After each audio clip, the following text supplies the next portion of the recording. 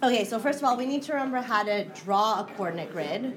We have a vertical axis and you have a horizontal axis. How do we label the axes? Which one is x and which one is y? X is always the horizontal axis, so I want you to label it right now. And y is always the vertical axis. The point where they intersect, what point is that? Zero. The points to the right are positive or negative? Okay, so in your example, it's actually counting by two. So I'm going to label this two, four, six, eight, ten, which means that halfway between zero and two would be one, correct? Yeah. Okay, you can choose your scale, but you have to be consistent. If I'm counting by twos on the x-axis with the numbers to the right, then if I'm labeling the numbers on the left, I can't count by ones. I also have to count by twos, and they're positive or negative on the left. Okay, so we're going to label this negative 2, negative 4, negative 6, negative 8, and so on. Any values above 0 going vertical, are they positive or negative, these values? Okay, so the scale for this can actually be different, but it has to be consistent with the bottom half, okay? So I'm going to just count by 2s again. These are positive, and these are, oops, negative 2, negative 4, negative 6, negative 8, negative. So if you're given an ordered pair, um, the first one is A, 3, 2. We always read an ordered pair, what? What order? Always, always, always read it X and then Y. Okay, so I want you to, to draw that in. I want you to label that on your paper.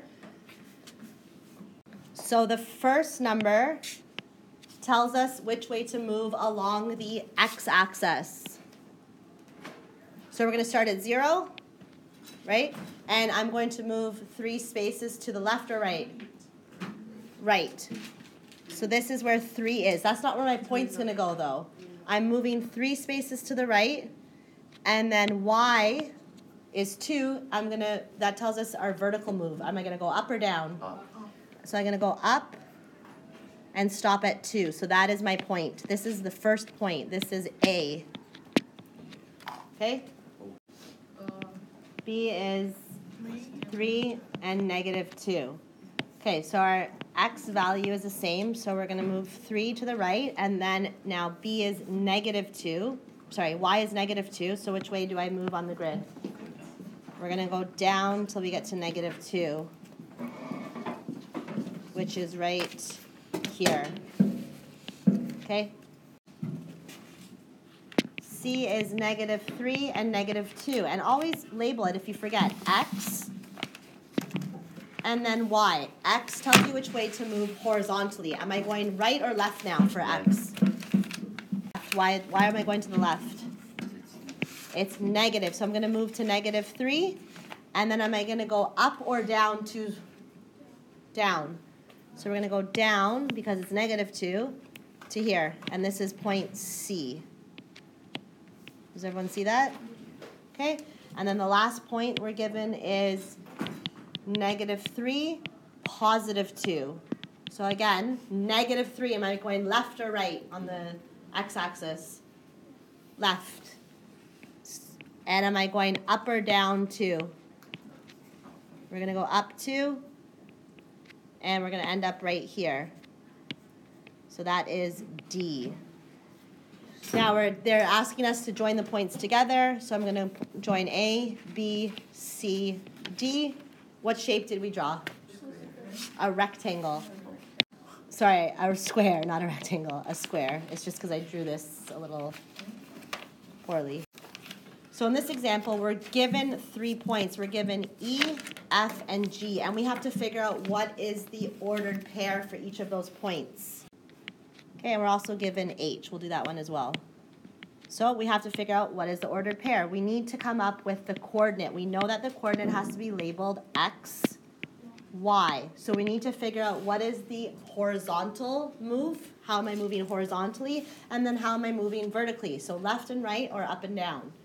So let's find E. Here's the point, right?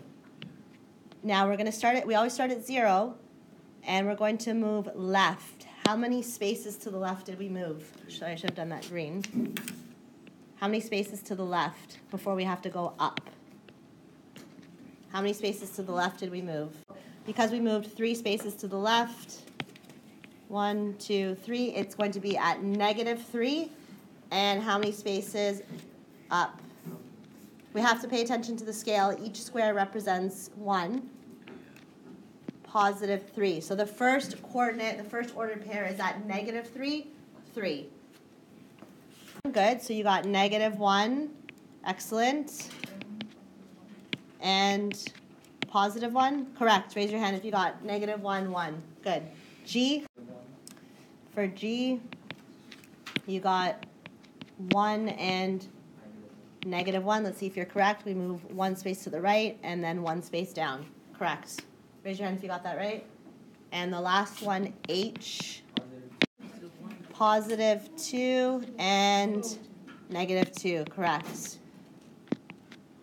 Okay, now you have to tell me where I am plotting this coordinate. I'm gonna call this, let's call it J, sure. Raise your hand if you can tell me what is the ordered pair for point J. Remember, we have to move horizontally first. Where did I, how far did I move? Yep. Negative five, and then how many spaces up? Positive seven. Okay?